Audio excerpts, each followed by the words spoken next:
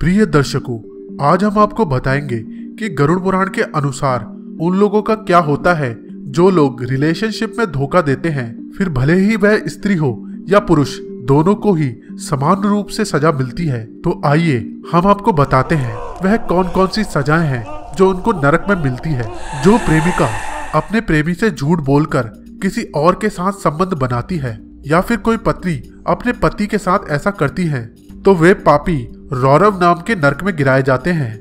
इस नरक में पापी को गन्ने की तरह छीला जाता है और इसका कष्ट असहनीय होता है।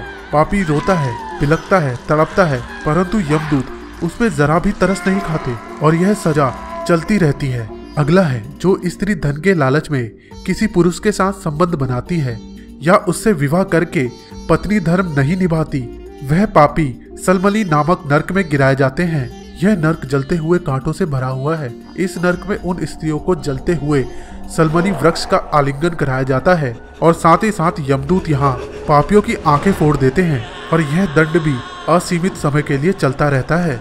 अगला है, जो स्त्री या पुरुष विवाह से पहले संबंध बनाते हैं और फिर विवाह नहीं करते तो ऐसे लोगों को मोक्ष प्राप्त नहीं होता और वे पापी जयंती नामक नरक में फेंके जाते हैं। इस नरक में विशाल चट्टाने हैं, जहाँ पर यमदूत पापियों को चट्टानों के नीचे दबाकर कुचलकर उनको प्रताड़ित करते हैं और यह नरक मानव समय के अनुसार छत्तीस हज़ार वर्षो तक प्रताड़ित करते रहते हैं। अगला है, जो स्त्री या पुरुष कामुकता और अपनी इंद्रियों की पूर्ति के लिए संबंध बनाते हैं और पूर्ति के बाद उसे तोड़ देते हैं, वे पापी महावट नामक नरक में फेंके जाते हैं।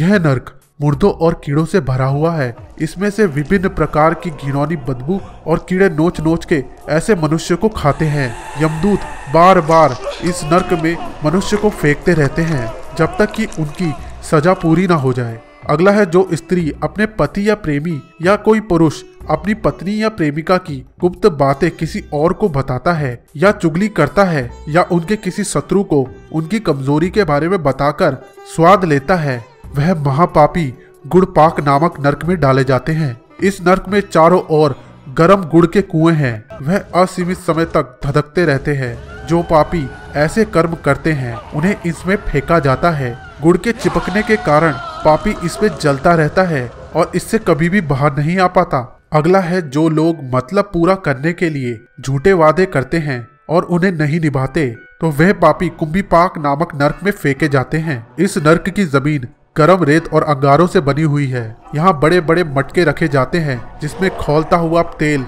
उफनता रहता है। उस तेल भरे मटके में ही पापी को डाला जाता है और उसे तला जाता है। पापी रोता, तड़पता, यमदूतों से क्षमा माँगता है, परंतु उसे कोई क्षमा नहीं मिलती। वह तला जाता है, चिल्लाता है दर्द से कराता है, परंतु कोई क्षमा नहीं मिलती। उसे इस दंड से तब राहत मिलती है, जब उसका समय पूरा हो जाता है। अब अगले पापी की बात करते हैं, जो स्त्री या पुरुष अपने साथी को मानसिक और शारीरिक कष्ट देते हैं, उन्हें मंजूस नामक एक नर्क मिलता है। इस नर्क की सलाखें अग्नि से बनी है, जहाँ दोषी को डाला जाता है। वह इस अग्नि में प्रताड़ित किया जाता है और इसकी जलन समान अग्नि से कई गुना ज़्यादा होती है।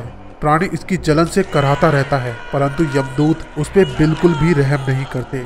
अगला है जो लोग कम उम्र की स्त्री को बहला फुसला कर उससे विवाह करते हैं या संबंध बनाते हैं, वे पापी पत्रम नामक नर्क में गिराए जाते हैं। यह नर्क कोई साधारण नर्क नहीं है। इस नर्क में एक कठोर वन है, जो कि असी पत्र से भरा हुआ है, जिसके पत्ते तलवार से ज़्यादा तीखे हैं। जैसे एक डॉक्टर का ब्लेड होता है यह उससे कई गुना तीखे होते हैं। पापियों को इस वन में डाला जाता है, जहाँ वे वर्षों तक इस वन में कट फट कर अत्यंत दुख और पीड़ा महसूस करता है और तड़पता रहता है, परंतु यमदूत उस पर भी एक क्षण भी दया नहीं करते। उसे पुनः उसी नरक में फेंक दिया जाता है, जब तक कि उसकी दंड की अवधि समाप्त न हो जाए।